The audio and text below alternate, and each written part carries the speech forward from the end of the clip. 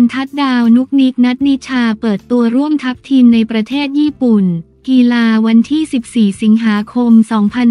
2567 13นาฬิกา48 นาที แนน ทัดดาวนึกแจ้งและ นุกนิก นัทนิชาใจแสนสองนักวอลเลย์บอลสาวทีมชาติไทย เปิดตัวร่วมทัพ TFU Blue Cats TFU Blue Cat ทีมในลีกประเทศญี่ปุ่น โดยโซเชียลมีเดียของสโมสร TFU Blue Cats ได้โพสต์ข้อความระบุว่า เกี่ยวกับผู้เล่นใหม่สโมสรขอต้อนรับทัดดาวนึกแจ้งเข้าสู่ทีมอย่างเป็นทางการ และเกี่ยวกับผู้เล่นใหม่สโมสรขอต้อนรับนัทนิชาใจแสนเข้าสู่ทีมอย่างเป็นทางการ ขณะที่เว็บไซต์อย่างเป็นทางการของสโมสร ก็ได้ถแถลงการระบุว่า ขอแจ้งให้ทราบว่านัทนิชาใจแสน ทัดดาวนึกแจ้งและคาชัวหน้าวินเลียมได้เข้าสู่ทีมของเราแล้วขอบคุณสำหรับการสนับสนุนของคุณ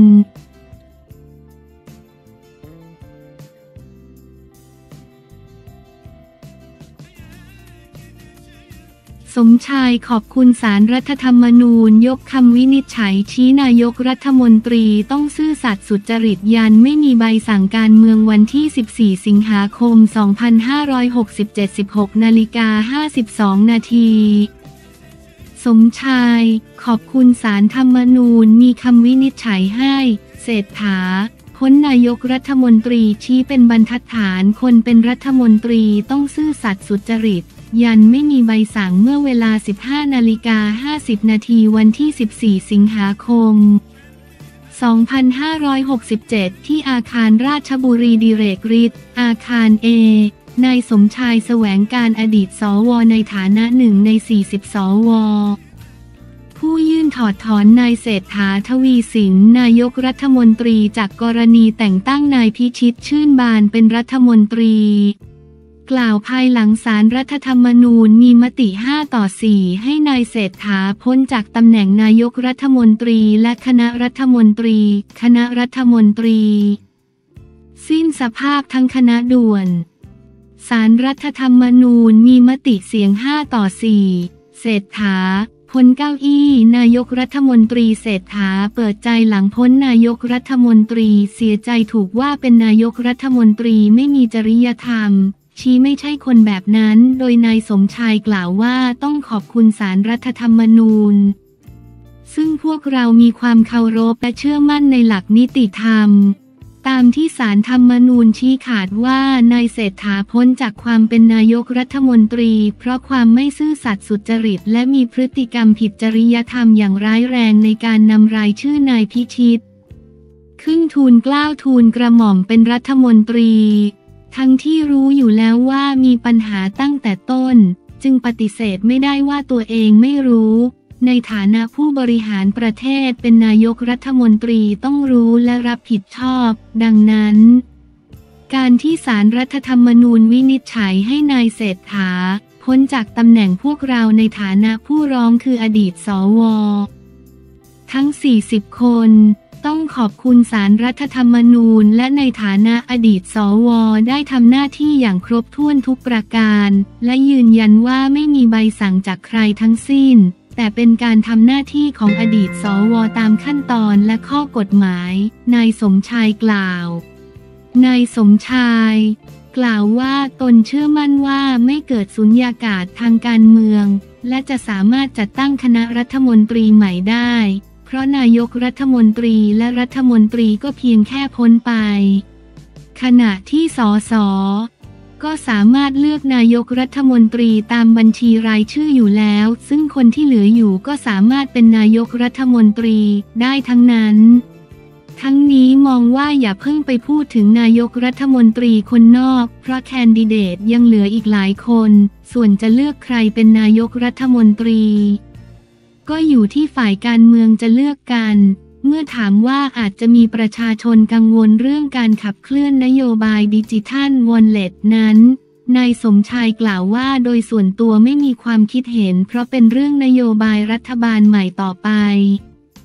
มั่นใจว่าการเมืองไทยจะไม่เกิดความวุ่นวายหลังจากนี้ และถือว่าเรื่องนี้จะเป็นบรรทัดฐานให้กับฝ่ายการเมือง ตามที่สารธรรมนูญได้อ่านคำวินิจฉัยชัดเจนถึงเจตนารมณ์ของรัฐธรรมนูญปี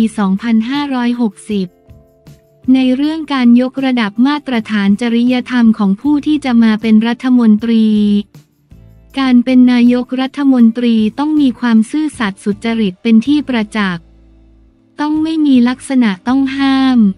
หรือประพฤติผิดจริยธรรมอย่างร้ายแรงตามความมุ่งหมายของรัฐธรรมนูญ การเมืองต้องไม่มาถึงจุดต่างตอบแทน และการจะให้ใครเป็นรัฐมนตรีก็ตาม ต้องตรวจสอบคุณสมบัติและเดินตามมาตรฐานจริยธรรม ซึ่งสามารถใช้ได้ทุกองค์กรและมั่นใจว่าได้ทำหน้าที่ของอดีตวุฒิสภา นายสมชายกล่าว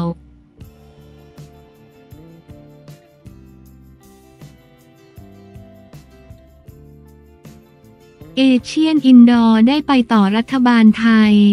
ยันเดินหน้าจัดแต่คุมเข้มงบประมาณ กีฬาวันที่ 14 สิงหาคม 2567 15นาฬิกา 2 นาทีเอเชียนอินดอร์และมาร์เชียลอาร์ตเกมครั้งที่ 6 ได้ไปต่อรัฐบาลไทย ยืนยันชัดเดินหน้าจัดแข่งแต่คุมเข้มงบประมาณอย่างเหมาะสมและโปร่งใส นายจิรวัตรอรัญญากานนท์ ที่ปรึกษารัฐมนตรีว่าการกระทรวงการท่องเที่ยวและกีฬา เปิดเผยว่าตามที่มีกระแสข่าวว่ากระทรวงการท่องเที่ยวและกีฬา ไม่อนุมัติงบประมาณในการจัดการแข่งขันเอเชียนอินดอร์และมาร์เชียลอาร์ตเกม ครั้งที่ 6 ระหว่างวันที่ 21 ถึง 30 พฤศจิกายน 2567 ที่กรุงเทพมหานคร และชนบุรีนั้นจากการหารืออย่างไม่เป็นทางการกับเลขาธิการโอลิมปิกแห่งประเทศไทย และสภาโอลิมปิกแห่งเอเชีย OCA ที่ประเทศฝรั่งเศสเมื่อวันที่ 27 กรกฎาคม มีข้อเท็จจริงดังนี้หนึ่ง รัฐบาลไทยโดยกระทรวงการท่องเที่ยวและกีฬายืนยันที่จะจัด AIMAG แต่ต้องดูแลให้มีการใช้จ่ายงบประมาณอย่างเหมาะสมกับจำนวนนักกีฬา เนื่องจากเป็นการจัดภายหลังกีฬาโอลิมปิกเพียง 3 เดือน 2 OCA เป็นผู้เสนอให้มีการปรับลดชนิดกีฬาลง 14 ชนิดกีฬา โดยเลขาธิการ OCA ได้มีหนังสือยืนยันอย่างเป็นทางการมายังกระทรวงการท่องเที่ยวและกีฬา การปรับลดชนิดกีฬาดังกล่าวมิใช่มาจากข้อเสนอของกระทรวง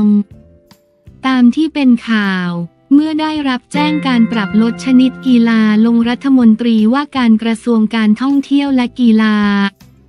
ก็ได้สั่งการให้การกีฬาแห่งประเทศไทย กกท พิจารณาปรับลดงบประมาณให้สอดคล้องกับข้อเท็จจริง โดยเฉพาะให้สอดคล้องกับจำนวนชนิดกีฬาที่ลดลงถึง 14 ชนิดตามข้อเสนอของ OCA รวมถึงจำนวนนักกีฬาและผู้เข้าร่วมการแข่งขัน ซึ่งขณะนี้อยู่ระหว่างการพิจารณาปรับลดของ กกท 3. ยสภาพเศรษฐกิจปัจจุบันจำเป็นต้องพิจารณาให้รอบคอบ เพื่อให้การใช้งบประมาณ ซึ่งมาจากภาษีอากรของพี่น้องประชาชนเกิดประโยชน์ คุ้มค่าและโปร่งใสที่สุด 4. เพื่อให้ได้ข้อยุติอันนำมาสู่ความเข้าใจร่วมกัน รัฐมนตรีว่าการกระทรวง กิโลกรัมได้กำหนดให้มีการจัดประชุมคณะกรรมการจัดการแข่งขัน AIMAG ในวันจันทร์ที่วันที่ 19 สิงหาคม 2567แน่นอนที่สุดว่าการเตรียมการจัดการแข่งขันรวมถึงค่าเก็บตัวฝึกซ้อม AIMAG ซึ่งได้เบิกจ่ายงบประมาณไปแล้วกว่า 800 ล้านบาทในระยะเวลา 4 ปีที่ผ่านมาและที่จะต้องใช้จ่ายต่อไปอีกหลายร้อยล้านบาท จะต้องสามารถถูกตรวจสอบถึงความโปร่งใส ปราศจากการทุจริตจากหน่วยงานที่มีหน้าที่ในการตรวจสอบอย่างแน่นอน ไม่ว่าจะเป็นการใช้จ่ายโดยองค์กรใดก็ตาม นายจิรวัตรกล่าวอันหนึ่ง นายชัยพักสิริวัตรรองประธาน OCA ชาวไทย และรองประธานคณะกรรมการโอลิมปิกแจ้งสาระสำคัญเมื่อวันที่ 13 สิงหาคมที่ผ่านมาว่าในวันที่ 15 สิงหาคมเวลา 15 นาฬิกา OCA เรียกประชุมคณะกรรมการบริหารธุรกิจรูปแบบออนไลน์วาระเร่งด่วนหารือเรื่องการเป็นเจ้าภาพเอเชียนอินดอร์และมาเชียลอาร์ตเกม ครั้งที่ 6 ของประเทศไทย ซึ่งนายชัยพักตั้งข้อสังเกตชัดเจนว่า OCA ไม่พอใจการทำงานที่ล่าช้าของประเทศไทย และมีความเป็นไปได้ที่จะยกเลิกการจัดการแข่งขันเอเชียนอินดอร์และมาร์เชียลอาร์ตเกม ครั้งที่ 6 ซึ่งนั่นทำให้ไทยอาจโดน OCA แบนในเกมอื่นๆ ของ OCA โดยเฉพาะเอเชียนเกม ครั้งที่ 20 หรือไอจินาโงยะ 2026